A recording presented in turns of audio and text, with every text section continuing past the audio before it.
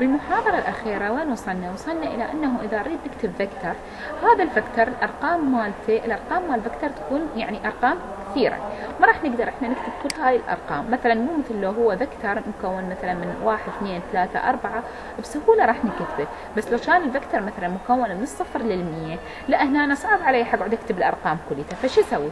فأكتب الرقم الأول أكتب الرقم الأول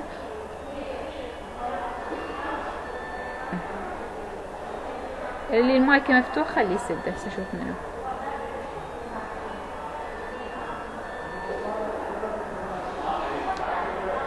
زين. فخلي نشوف فاذا نريد نكتب vector مكون من 100 رقم مثلا. ما راح أقدر أكتب هاي الأرقام كلها فايش راح أقول؟ راح أقول x يساوي أكتب الرقم الأول وأحط نقطتين هاي نقطتين الشارحه واكتب شنو قلنا؟ قلنا أكتب الرقم الأخير. بالوسط إيش راح أحط؟ راح أحط شيء سميته ال increment. ال increment يعني شنو معناها؟ يعني معناها الزيادة. فإذا أنا الأرقام مالتي مترتبة صفر واحد اثنين إلى حد المية إذا مترتبة صفر واحد اثنين إلى حد المية فإذا الزيادة شقد واحد واحد.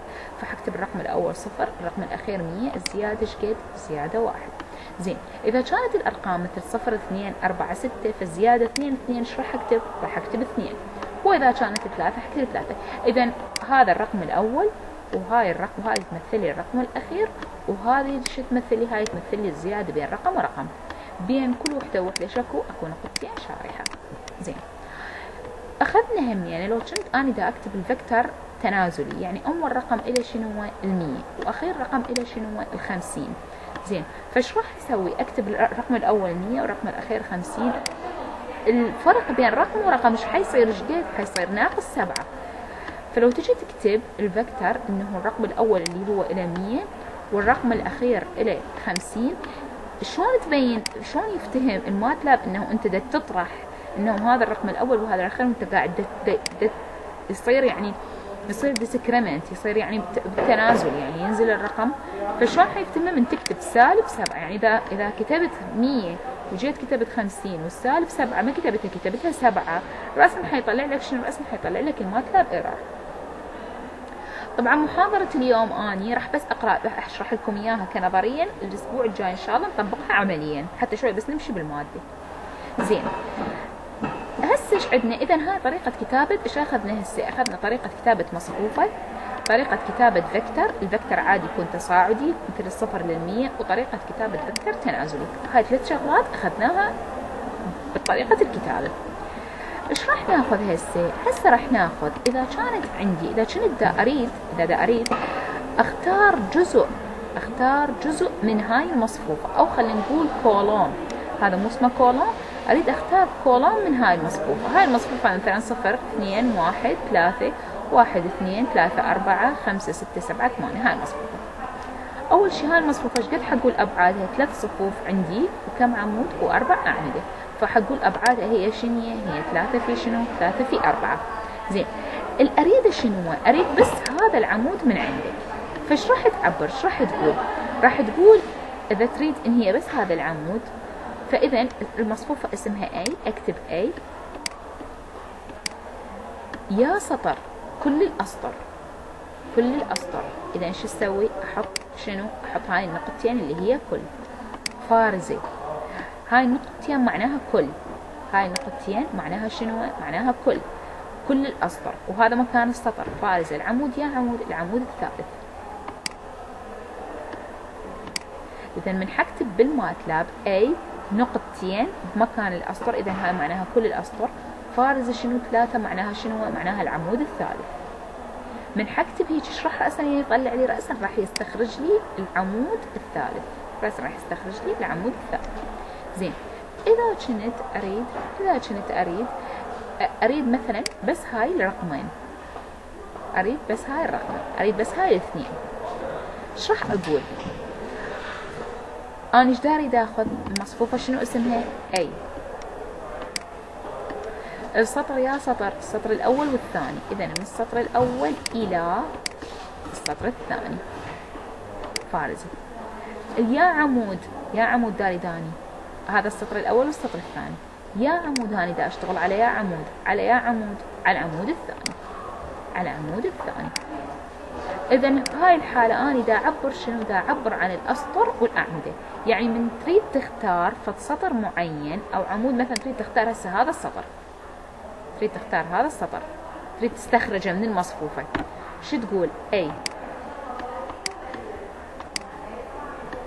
يا سطر هذا. السطر. عفية كل الأعمدة. ونقطتين هاي السطر الثاني فارزة. كل الأعمدة نقطتين عبرنا عن شنو؟ استخرجنا شنو؟ استخرجنا هذا السطر الثاني. إذا هسه لحد الآن أنت تمكنت. بمكان باور هسه هذا مكان سطر. هذا مكان عمود. من تقول كل الأعمدة كاتبت لك هنا أنا كل. من تقول كل الأعمدة شو تحط؟ تحط نقطتين. مكان مكان العمود. إحنا مو عندنا إحنا عندنا هالشكل اذا اريد مثل هالشكل. أي هاي اسم المصفوفة. نفتح قوسين. هنا أنا مكان السطر. هنا أنا فارزة هنا أنا مكان العمود. صح لو مو صح؟ فإذا أنت تريد تقول كل الأسطر إيش راح تقول كل الأسطر؟ وش راح تقول إذا عندك العمود الثاني؟ أنت تريد تختار تقول العمود الثاني كل الأسطر. إذا عندك السطر الثالث تقول السطر الثالث. كل الأعمدة. يعني هذا أول واحد مكان السطر وهذا ثاني واحد مكان العمود. واضح؟ هلا زين. فإذا هسه لحد الآن عرفت شلون تكتب مصفوفة شلون تكتب فيكتور شلون تستخرج رقم من المصفوفة. أخذنا هذه المحاضرة مثلا إذا أنا أريد أقول لك أريد أقول لك أريد استخرج لي هذا الرقم اللي هو رقم خ... اللي هو رقم ستة. شلون تستخرج رقم ستة من المصفوفة؟ شو تقول؟ مصفوفة اسمها A. تقول A. تجي تنطي موقع ستة. موقع ستة شنو هو يا صف صاير؟ الصف الثالث. مو؟ واحد اثنين ثلاثة. الصف الثالث. يا عمود. واحد اثنين. العمود الثاني. فمن نكتب A ثلاثة اثنين. رأسا الشي يطلع لي الأنسر؟ رأسا يطلع لي الأنسر شنو؟ يطلع لي الأنسر رقم ستة. ها؟ إذا عرفت شلون أكتب vector عرفت شلون اكتب مصفوفة؟ عرفت شلون استدعي رقم معين موجود بالمصفوفة؟ شلون استدعي سطر أو column row أو column معينة موجود بالمصفوفة. هاي كلش يعطيني القابلية. هذا كله ينطيني القابلية على انه اتحكم بال elements الموجودة داخل المصفوفة. واضح؟ حقدر اتحكم بال elements الموجودة داخل المصفوفة. واضحة؟ أحد عنده سؤال؟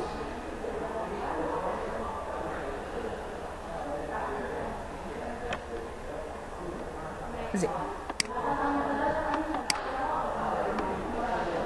هسه راح ناخذ شنو؟ هسه راح ناخذ ال basic matrix function شنو حنطيكم بس الفانكشنات اللي تستفادون من عندها حطيكم بس الفانكشنات اللي تستفادون من عندها أول وحدة هي شو اسمها؟ أول وحدة اسمها function sum. تعرف أنت هذا؟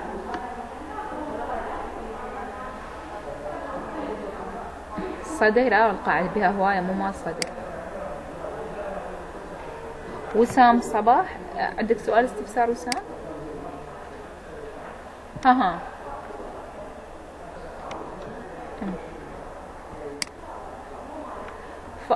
فاول وحده اللي هي شنو هي؟ أول وحده اللي هي أول function أول function اللي هي اسمها function ال summation function ال summation شو يقصد بيها؟ يقصد بيها سمويشن تعرف شنو معناها؟ يعني معناها ده يجمع. معناها ده يجمع. شلون تجمع الأرقام الموجودة داخل المصفوفة؟ سميشن معناها ده تجمع ال elements الموجودة داخل المصفوفة. مثلا حينطيك بكل وحده حينطيك هنا ال instruction أو ال command وحيعطيك ال description مالتها يعني الشرح مالتها. زين أنتم حفاظ بس هذا اللي حنختار حأشر لكم عليه أول وحدة اللي هي شنو؟ أول وحدة ال sum. ال sum هي شنو معناها؟ هي معناها جمع ده يجمع. عندك هاي المصفوفة. عندك هاي المصفوفة X تساوي واحد اثنين ثلاثة أربعة خمسة ستة هاي المصفوفة. إذا تجي تكتب سم الإكس يعني معناها شنو؟ يعني معناها أنت قاعد تجمع شنو؟ تجمع ال column تجمع ال row ات يعني بشكل column يعني تجمع column واحد وأربعة إيش قد؟ خمسة واحد وأربعة خمسة اثنين وخمسة إيش قد؟ اثنين وخمسة سبعة زين ثلاثة وستة إيش قد؟ ثلاثة وستة تسعة إذا من كتبت من عندي مصفوفة وأكتب سم الهاي المصفوفة رأسا يجمع لي ال column ات زين أنا أريد مجموع هذه المصفوفة كلها يعني أريد يجمع المصفوفة كلها هاي من هاي من أخذها اشرت لكم عليها فيه أريد يجمع هاي المصفوفة كلها. شلون يجمعها شو أكتب سم أفتح قوس دائري أكتب سم الاكس إيش حيسوي؟ حيجمع لي هذا ال row هذا مو جمع لي جمع لي ال column ات كتب لي هذا خمسة ومجموع هذا ال column سبعة ومجموع هذا ال column تسعة. هسه يجمع يقول خمسة زائد سبعة زائد تسعة ويساوي لي واحد وعشرين. ليش؟ لأن كتبت سم فتحت قوس كتبت سم الاكس يعني اجمع لي المجموع. فهو اجمع المجموع column ات. بدي أقول له اجمع لي المجموع يجمع لي شنو؟ يجمع لي ال row ات الموجودة بي حتى يعطيني رقم واحد.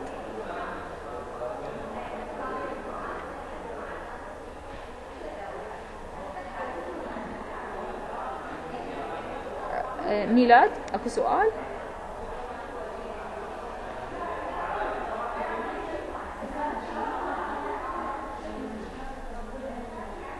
اي اي يصير اي. عاش جديدك خوش سؤال. يصير تريد من البداية تجمعهن بس قبل اكتب سم سم الاكس قبل هي تعطيك الجمع مالتها كله. العب زين خوش سؤال.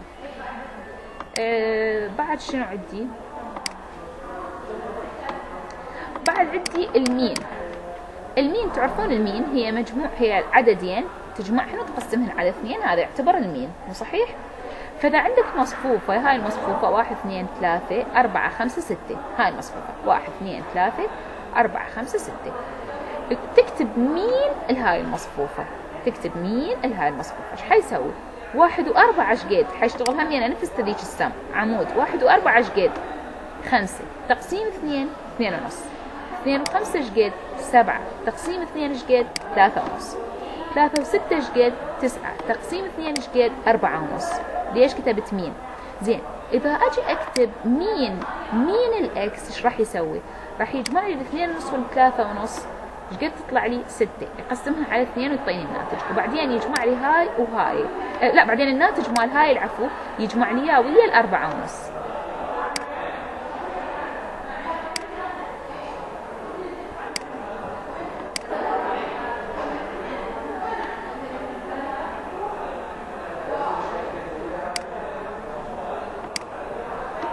يعني النتيجة مال هذه ويا النتيجة ويا الأربعة ونص هم يعني يجمعها ويقسمها على اثنين. حيطلع لي شنو؟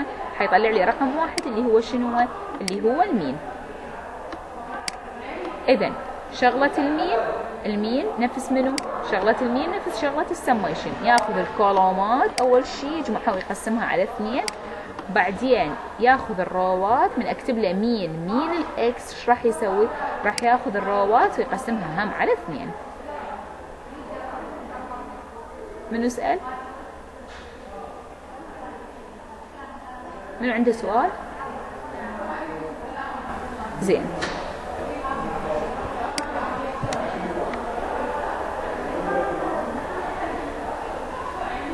أي. باع وياي المين هو مو معناها ياخذ رقمين يجمعهن ويقسمهن على اثنين؟ خوش حكي؟ فإذا كتبت mean للمصفوفة إيش راح يسوي ياخذ column ات ياخذ هذا ال column ات يجمعهن ويقسمهن على اثنين. هاي يجمعهن ويقسمهن على اثنين. هاي يجمعهن ويقسمهن على اثنين. إيش طلعت عندك؟ مثل السموشن طلعت عندك ثلاث أرقام. خوش حكي؟ من تجي تكتب هاي عفتها همين عفتها؟ تركتها.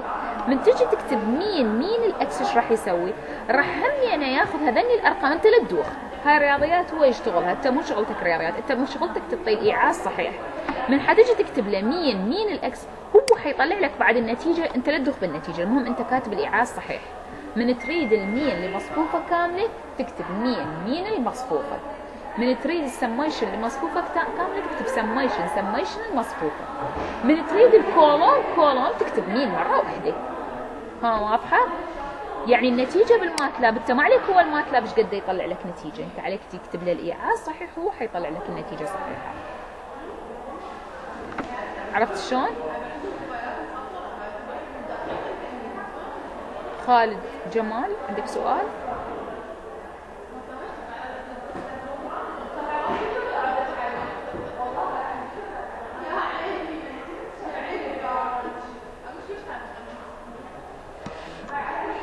لا انت لا لا ب- ب- ما ليش أقول لك حتى له هذه أنت ما تدوخ بالشغل مالته شلون دا يشتغله هو أنت عليك إذا تريد تجد ال mean لأعمدة وإذا كان عندك ثلاث صفوف هو حيأخذ كل عمودين يعني هو حيشتغل بتقنية ما راح يدوخك اياه حيأخذ كل صفين يطلع لها النتيجة وبعدين يطلع لها ويا الصف الآخر يطلع لها نتيجة يقسمها على اثنين. لأن هو ال mean لازم رقمين ال mean مو مثل ال average عددها مجموعها على عددها.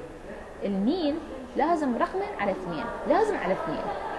بس راح شو يسوي؟ راح يأخذ راح يأخذ رقمين راح يأخذ أول رقمين يطلع مالتها المين. ويا الرقم الثالث يصير شنو يصير؟ هم يصير رقمين هم يطلع لها المين مره الأخرى فهمت علي؟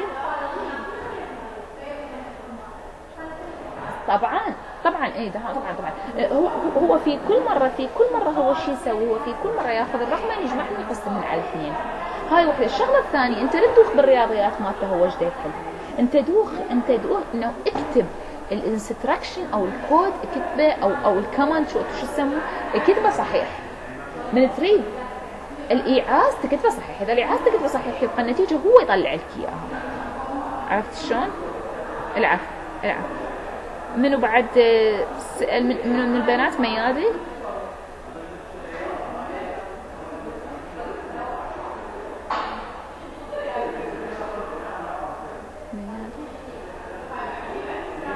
يلا هسه خلينا نكمل وبعدين بعدها شنو عندي؟ بعدها هسه حيعطيني في الطريقتين شلون أكون مصفوفة، هاي المصفوفة يسموها المصفوفة الصفرية. المصفوفة الصفرية شنو يقصد بها؟ يقصد بها مصفوفة ارقامها كلها صفر. ارقامها كلها صفر، مو بكيفك تحط الأرقام أنت تكتب إيعاز تطلع لك مصفوفه ارقامها كلها صفر. شنو هذا الايعاز اللي كتبه؟ إحنا نعرف ان M سطر أول واحد ثاني واحد شنو ثاني واحد عمود.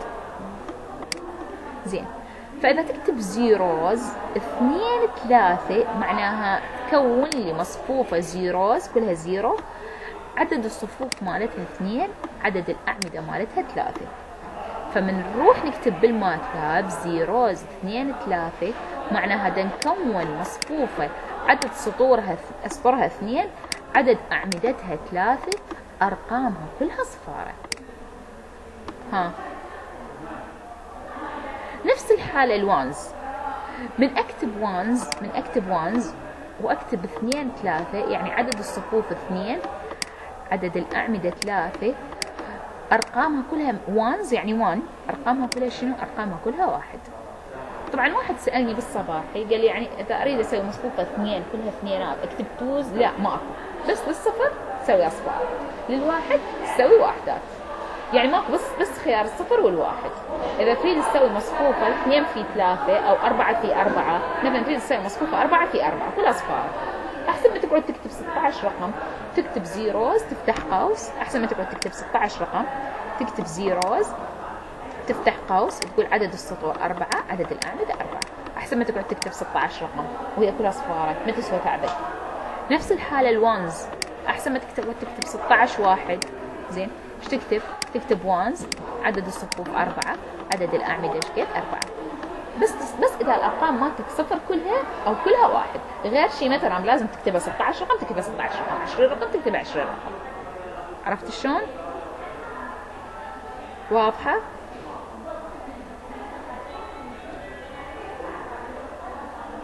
زين هي سهلة واضحة يعني مم.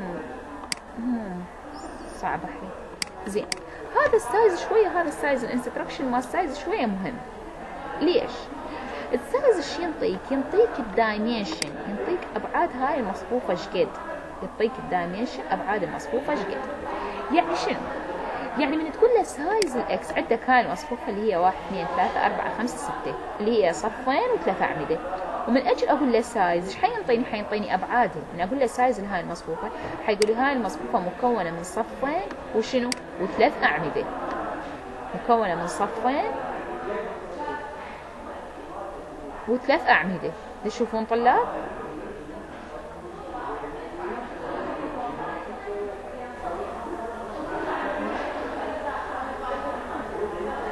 تشوفون الشاشة؟ اي اي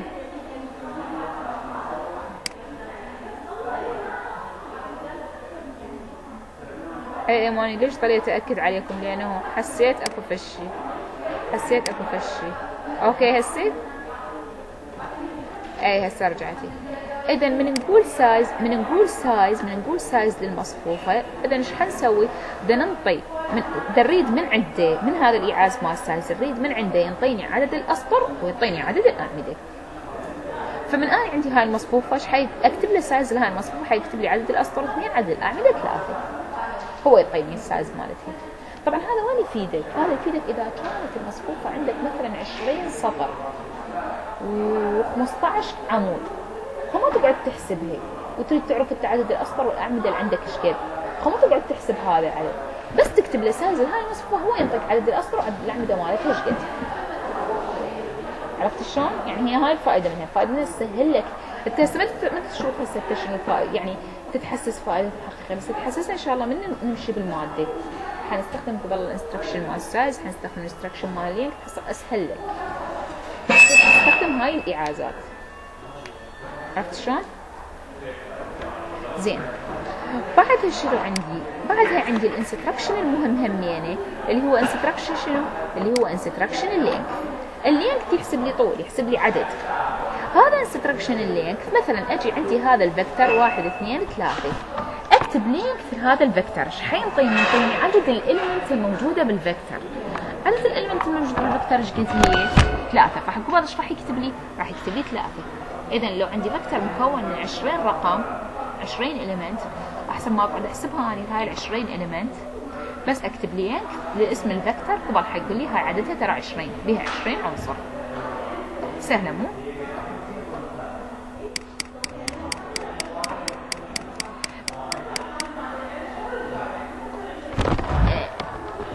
لا باو الفكتور هو الشفير شنو يفرق لي الفكتور عن المصفوفة؟ المصفوفة أبعاد اثنين هذا هالشكل. تكون مثلا اثنين في ثلاثة. سطرين مثلا. وش كم عمود؟ وثلاثة أعمدة خوش حكي؟ ال vector لا. ال vector لو يكون سطر واحد لو يكون شنو؟ لو يكون عمود واحد. فش أسميه؟ أسميه vector هذا بعد ما أسميه لأن هو واحد فما أسميه مصفوفة. شو أسميه؟ أسميه vector ها. هذا ال normal character زين.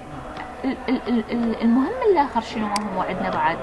عندنا ال single quotation ال single quotation شنو هو يقلب لك يسوي لك transpose لل matrix يعني شنو أقصد بال transpose يعني يقلب السطر عمود والعمود سطر. يقلب السطر عمود والعمود سطر. زين. فإذا عندك هاي المصفوفة إذا عندك هاي المصفوفة تريد تقلب سطرها وعمودها شو تسوي؟ بس تكتب اسم المصفوفة وتحط فوقها single quotation single quotation اللي هو تشوفه إذا ما عرفت ال keyboard مالتك نفس ال keyboard مالتك سوى حرف القاف. single quotation زين. بس إيش حيصير؟ حيقلب لك السطر إلى شنو؟ حيقلب لك السطر إلى عمود والعمود إلى سطر. نفس هاي إذا كان شنو؟ إذا كان عندك مصفوفة. إذا كان عندك vector إذا كان عندك vector شلون هسه هذا ال vector فحيقلب ال vector من هو افقي شو يسوي إلى vector شنو؟ يسوي إلى vector عمودي. أي نعم.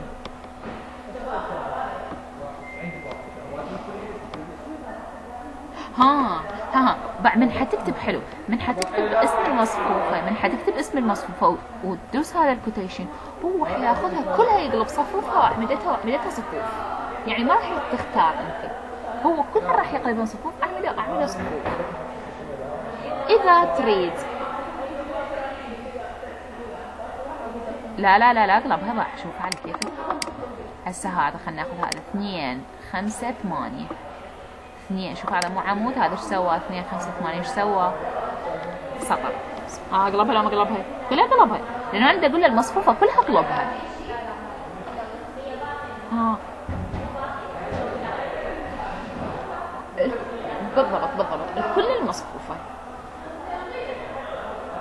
ها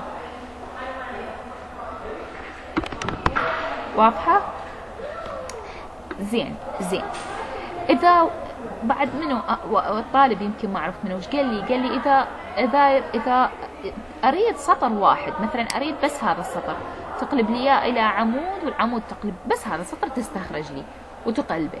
إيش راح تسوي شوف إيش راح تسوي هذا السطر حتى تستخرجه لازم تسميه المصفوفة إكس تقول إكس